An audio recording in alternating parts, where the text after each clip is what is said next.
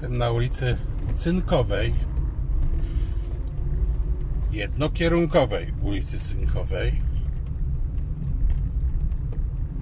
Ograniczenie do 30 km na godzinę, jak widzieliśmy. Oczywiście na Cynkowej w Oświęcimiu.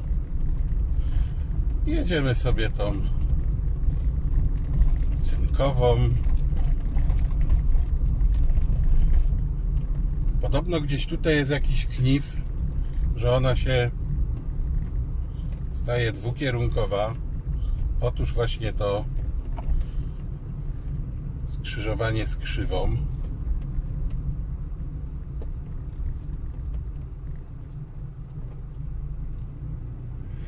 I na skrzyżowaniu z na końcu tej drogi skręcamy w lewo. I to już jest odcinek, jak wspomniałem, dwukierunkowy.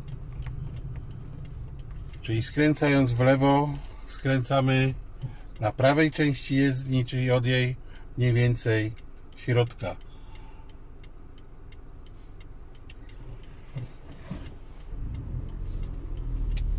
W ulicę Więźniów Oświęcimia.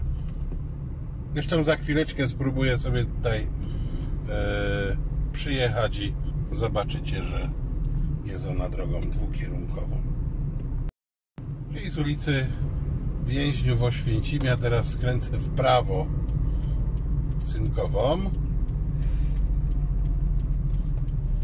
I to jest to miejsce, gdzie z którego żeśmy wyjeżdżali Widzimy, my jechaliśmy od tej lewej strony.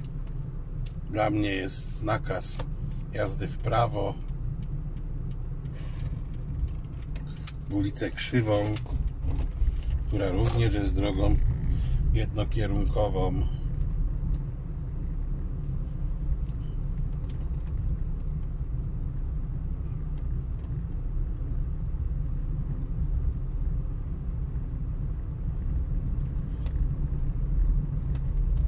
Powiem szczerze, jako osoba, która no, nie bardzo ten no, Święcim jakoś zna, gdzie tutaj wyjadę. Czy wyjadę do Dworcowej? Bo powiem szczerze, chętnie jeszcze raz bym tą yy, tą cynkową do więźniów Oświęcimia przejechał. Mamy rondo Czyżby to było jedno z tych rond naleśnik? Natomiast ja na rondzie pojadę trzecim zjazdem. Czyli będę jechał w ulicę Dworcową i jeszcze raz przejedziemy ulicę Cynkową. Malutkie rondo. Oczywiście uważajcie tutaj, aby nie najeżdżać na tą wyspę. Ta wyspa nie jest dla pojazdów kategorii B jak będziecie zdawać na ciężarowe, jak będziecie zdawać na autobus, wtedy gdzieś tam możecie na tą wyspę najechać. Przy kategorii B jest ona nietykalna. Chyba tu jest cynkowa. Czy ja się dobrze orientuję? Tak.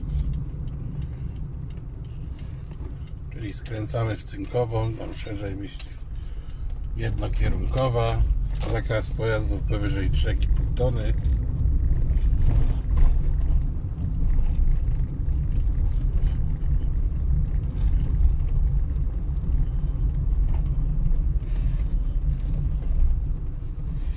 Oczywiście nie ma tutaj strefy e, zamieszkania, więc żadnych szczególnych praw poruszający się po tej drodze e, piesi nie mają. Oczywiście to nie znaczy, że mamy pieszych rozjeżdżać, absolutnie nie to miałem e, na myśli, ale na przykład w strefie zamieszkania, co wiemy, w każdej sytuacji musielibyśmy pieszemu ustępować. I tu nam się zaczyna droga dwukierunkowa. I na końcu tej drogi, skoro mamy jechać w lewo, to mamy to zrobić z prawej części jezdni.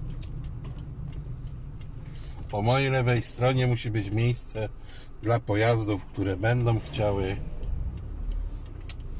jechać w kierunku przeciwnym.